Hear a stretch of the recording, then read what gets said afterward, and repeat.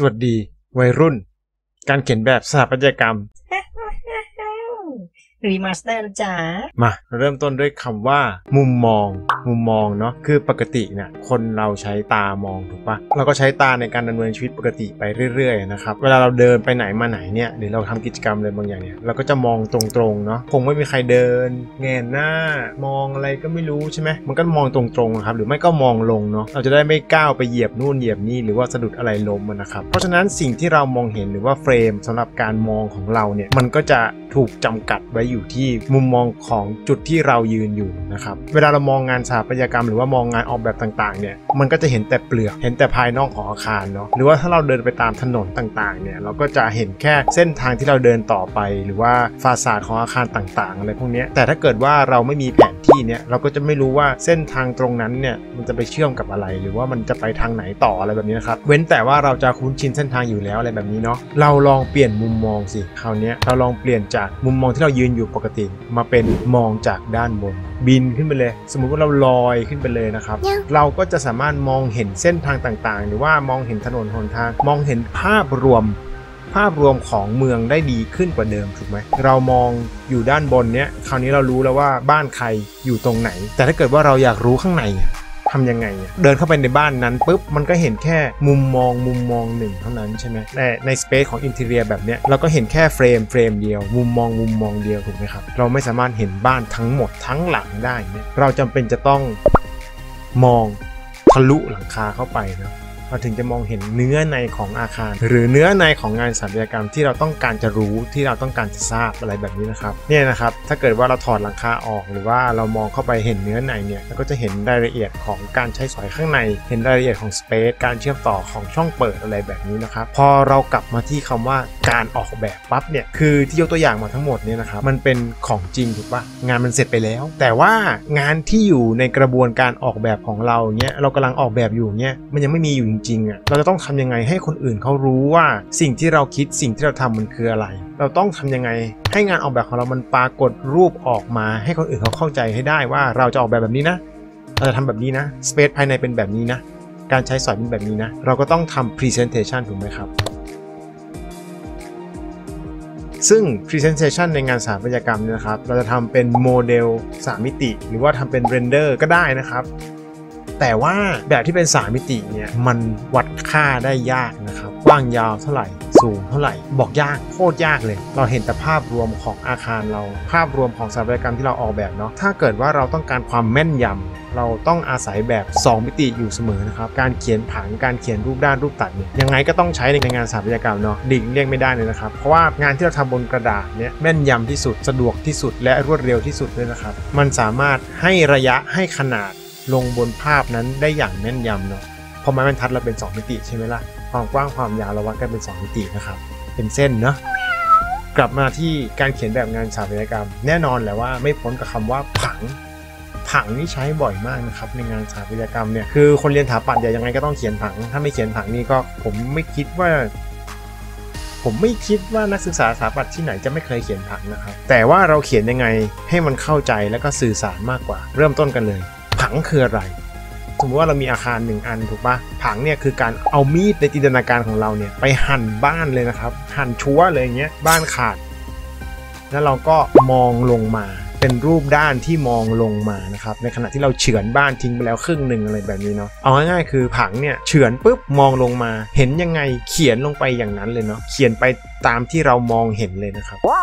ก่อนที่เราจะเริ่มเขียนแบบนะครับ เราต้องเข้าใจสิ่งที่เรียกว่าน้ำหนักเส้นก่อน น้ำหนักเส้นเนี่ยเส้นเข้ม เส้นหนา เส้นอ่อน เส้นบาง เส้นประเส้นต่างๆล้วนมีความหมายในงานสถาปัตยกรรมมากๆนะครับ แต่ละเส้นเนี่ยมันมีมีนิ่ง มันแฝงไปด้วยอารมณ์ความรู้สึก แล้วก็การบอกเนื้อหาต่างๆ ของงานสถาปัตยกรรมผ่านเส้นเหล่านี้นะครับ เส้นหนาเนี่ยจะหมายถึงเส้นที่อยู่ใกล้ตาเราที่สุด เพราะฉะนั้นถ้าเราตัดบ้านแล้วมองลงมาอย่างเงี้ย เส้นหนาๆก็จะหมายถึงพวกผนัง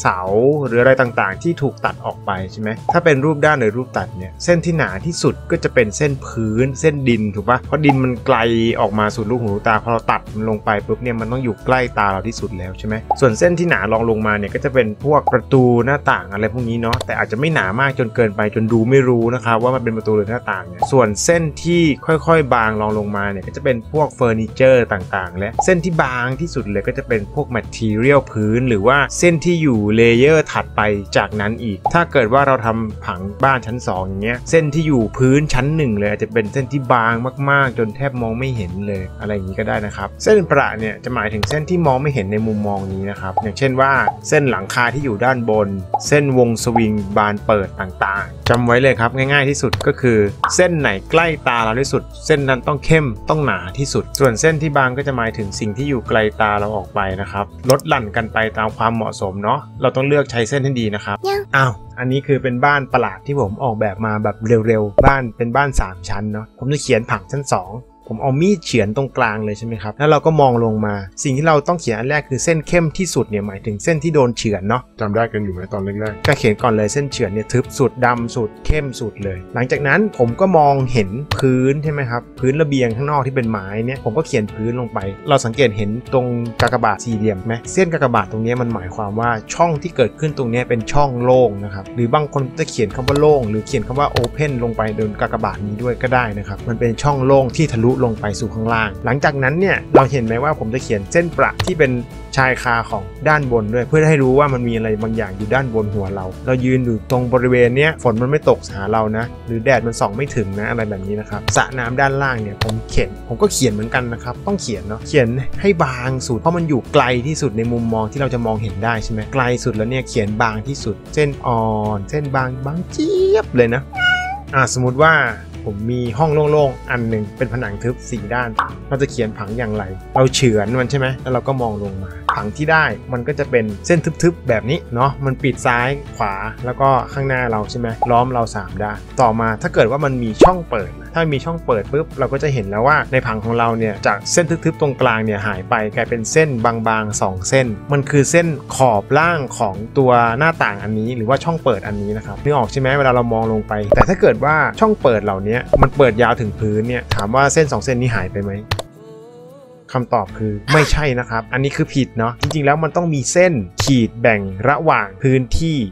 เก็ตไหมคือข้างในเนี่ยเราใช้วัสดุเป็นวัสดุหนึ่งใช่ไหมข้างนอกมันเป็นหญ้าใช่ไหมครับฉะนั้นเส้นที่มันอยู่ระหว่างข้างในกับข้างนอกเนี่ยมันต้องเกิดเส้นหนึ่งเส้นเนาะอาจจะเป็นเส้นยกระดับมันเป็นสิ่งที่เกิดขึ้นจริงๆอะเนาะถ้าเกิดว่าเราเราไม่เขียนอะไรเลยลงไปเนี่ยมันก็เหมือนกับว่าหญ้ามันไหลเข้ามาในบ้านถูกปะเพราะงั้นต้องมีเส้นนี้เป็นตัวบอกนะครับว่า ตรงนี้มันเปลี่ยนวัสดุนะมันเปลี่ยนระดับนะถ้าเกิดว่าใครละเอียดหน่อยๆเนี่ยก็จะเขียนระดับกำกับไปเลยว่าข้างในสูงเท่าไหร่ข้างนอกสูงเท่าไหร่อะไรแบบนี้นะครับส่วนการเขียนเรื่องประตูหน้าต่างเนี่ยอันนี้เป็นหน้าต่างบานเปิดคู่ใช่ไหมเนี่ยพอเราเห็นหน้าต่างปุ๊บเนี่ยเราเขียนวงกบไปเลยนะครับ เห็นไหมวงกบเนี่ยอยู่ข้างๆตรงเนี้ยเป็นสี่เหลี่ยมเล็กๆอย่างเงี้ยเขียนไปเลยเนาะวงกบเนี่ย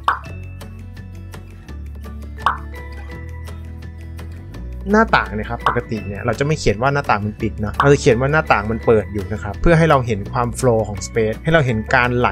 ของพื้นที่ภายในสู่พื้นที่ภายนอกอะไรแบบนี้เนาะส่วนประตูก็จะเหมือนกันนะครับแต่ว่าประตูเขียนเนี้ยถูกไหม ก็ยังผิดอยู่นะครับ คือเวลาเราเปิดประตูออกมาเนี่ยจะเห็นได้ว่าพื้นข้างล่างเนี่ยมันจะไม่เกิดเป็น 2 เส้นเนาะมันเกิดแค่เส้นเดียวระหว่าง ภายในกับภายนอกเท่านั้น ถ้าเราเขียน 2 เส้นแบบนี้มันจะทำให้เรารู้สึกว่ามันเหมือนกับหน้าต่างมากกว่าใช่ไหมเพราะเราเห็นขอบวงกบข้างล่างนะครับ อันนี้เก็ตเนาะเส้นประเนี้ยแสดงให้เห็นว่าประตูหรือว่าหน้าต่างบานเปิดแบบเนี้ยมันกินพื้นที่ไปเท่าไหร่เนาะเราต้องเขียนด้วยนะครับเราจะได้รู้ว่าเวลามันเปิดเนี่ยมันกินพื้นที่ห้องไปเท่าไหร่ มันเล็กมันกว้างขนาดไหนเนาะเส้นพวกนี้จะเป็นตัวบอกคุณภาพของสเปซหรือบอกความหมายต่างๆ ที่เราต้องการจะสื่อสารออกไปมิฉะนั้นเนี่ยมันคุยกันคนละเรื่องเนาะเราต้องระวังเรื่องพวกนี้มากๆนะครับเวลาเราดูผังเราเนี่ยเราจะเข้าใจความหมายของมันทั้งหมดเลย โดยที่คนออกแบบอาจจะไม่ต้องพูดอะไรเยอะเกินไปเนาะพวกรายละเอียดต่างๆ พวกนี้มันถูกแสดงออกในผังเหมือนกันนะครับ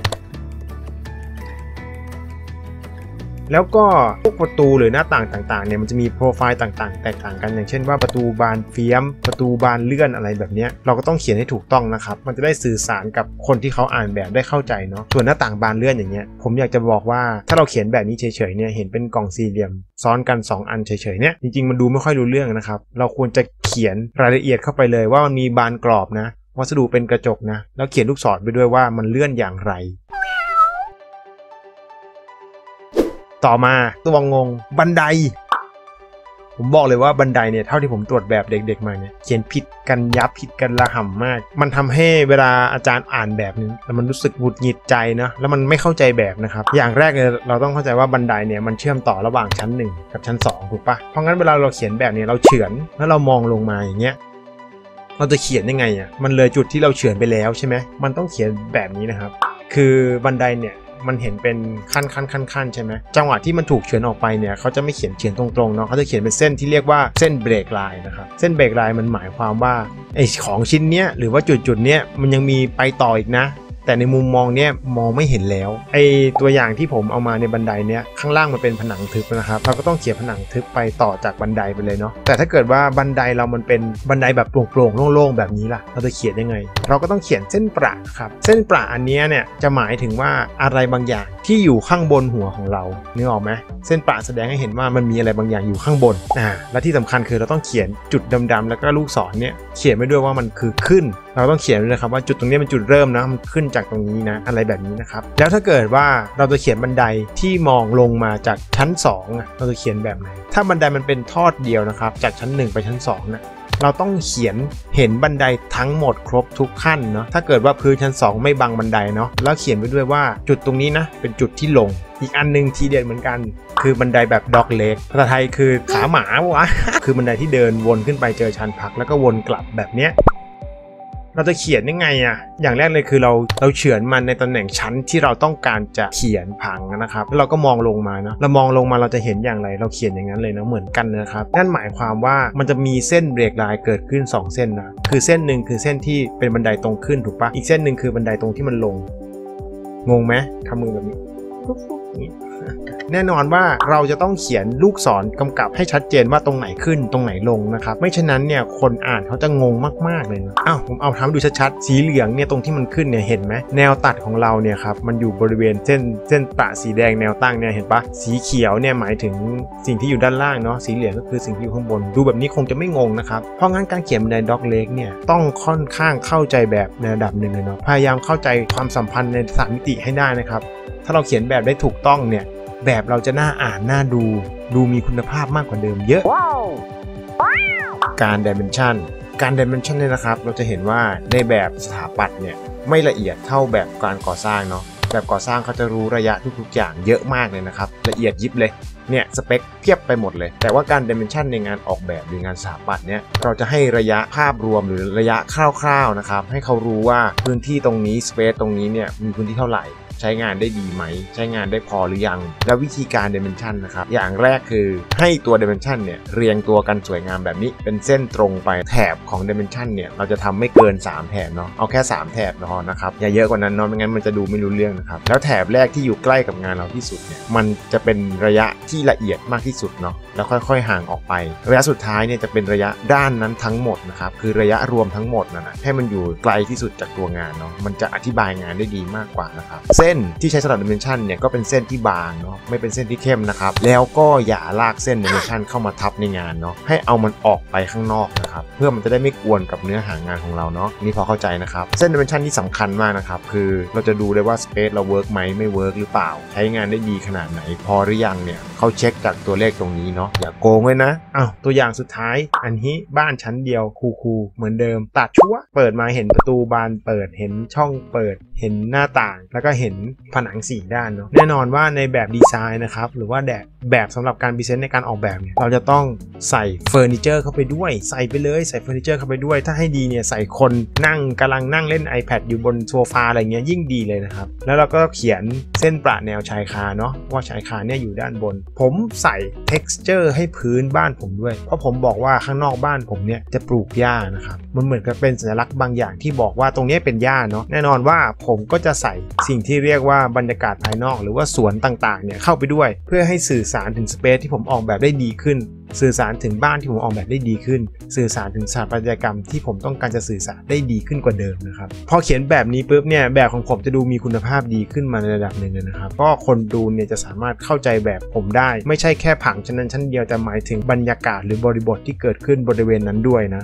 อะอันนี้ก็คือตัวอย่างผังบ้านที่ผมเอายกขึ้นมาให้ดูนะครับ เราจะเห็นว่าเส้นอ่อนเส้นเข้ม หรือว่าเส้น texture ต่างๆ เนี่ย มันส่งผลต่อการสื่อสารของแบบเรามากๆเลยเนาะ การใส่เฟอร์นิเจอร์ลงไปในแบบเนี่ย มันทำให้แบบเราดูมีความโรแมนติกมากขึ้น มันสื่อสารได้ดีมากขึ้น มันบอกเรื่องราวได้ดีกว่าแบบโล่งๆนะครับ แม้แต่ว่าการสเก็ตผังนะครับ เราก็ยังคงต้องเขียนให้มันมีน้ำหนักเนาะถึงแม้ว่าไอแบบเช่นเนี้ยเราจะไม่ได้ส่งลูกค้าเราไม่ได้ไปส่งอาจารย์ก็จริง แต่ว่ามันทำให้เราอ่านสเปซออก มันทำให้เรารู้ว่าเราควรจะพัฒนาแบบมันต่ออย่างไร แน่นอนว่าถ้าเกิดว่าเราใส่เฟอร์นิเจอร์ใส่คนเข้าไปด้วยเนี่ยเราจะเห็นมากขึ้นกว่าเดิมเลยว่า แบบเราสื่อสารถึงเรื่องอะไร มาดูรูปตัดรูปตัดก็เหมือนกันเลย วิธีคิดเหมือนกันเป๊ะเลยนะครับแต่ว่าเราหั่นมันอีกแนวหนึ่ง ตัดบ้านอีกแนวหนึ่งแล้วก็มองเข้าไปข้างๆ แบบนี้เห็นช่องเปิด เห็นประตูหน้าต่างเหมือนเหมือนเดิมปกติเลย แต่ว่ารูปตัดเนี่ยถ้าเราตัดแล้วเราก็มองไปเฉยๆเนี่ยเห็นแต่อาคารเนี่ยผมบอกเลยเลยว่ามันแห้งแห้งแล้งมาก มันไม่มีชีวิตชีวาเลยอะ่ะมันไม่มีความสนุกสนานหรือไม่มีบรรยากาศอยู่ในนั้นนะเพราะฉะนั้นเราใส่บรรยากาศเข้าไปนะครับใส่คนเนาะใส่อ็อบเจกต ใส่กิจกรรมต่างๆ ใส่ต้นไม้ทำให้รูปตัดของเราเนี่ยสื่อสารได้มากกว่ารูปตัดที่เป็นรูปตัดแบบโล่งๆเนาะเราต้องเข้าใจนะครับ เราทำแบบดีไซน์เนาะเราต้องให้เห็นว่าอาคารเรามันทำงานยังไงนะครับรูปตัดและผังนะครับ ก็จะมีเทคนิคการทำที่หลากหลายเนาะแล้วแต่ความถนัดของแต่ละคนเลยนะครับ บางคนเขาอาจจะไม่ได้ถมเข้มแล้วก็ได้เนาะแต่เขาสามารถทำให้สื่อสารได้ว่าตรงนี้เป็นส่วนที่โดนตัดก็สามารถทำได้เหมือนกันนะครับแต่ว่าถ้าเรายังไม่เก่งเนี่ยผมแนะนำว่าให้ถมเข้มไปก่อนเนาะตรงไหนที่โดนตัด ให้เป็นเส้นเข้มเส้นหนามาเลยนะครับ ส่วนคนที่ advance ไปแล้วเนี่ย ก็จะมีการเอาไปลงสี เอารูปตัดไปทำเป็น perspective เนี้ยก็แล้วแต่ความสะดวกของแต่ละคนเลย อยู่ที่ว่าเราจะสื่อสารแบบของเราอย่างไร อันนี้ขึ้นอยู่กับเรานะครับ หวังว่าคลิปนี้จะช่วยให้พวกเราเขียนแบบได้ดีขึ้นนะครับ แค่นี้แหละ สวัสดี